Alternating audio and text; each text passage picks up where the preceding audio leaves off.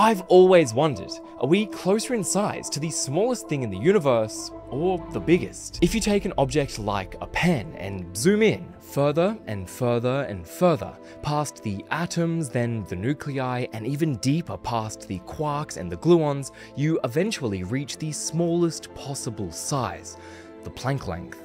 Nothing can be smaller than this, 10 to the minus 35 meters. Okay, so what about the biggest? If you leave the Earth and zoom out, leaving our galaxy, our local cluster, going further and further, eventually you will reach the edge of the observable universe. 90 billion light years wide. So on this scale, do you think we are closer in size to the smallest thing or the biggest? Surprisingly, we are 400 million times closer in size to the entire observable universe than to the smallest things in quantum physics.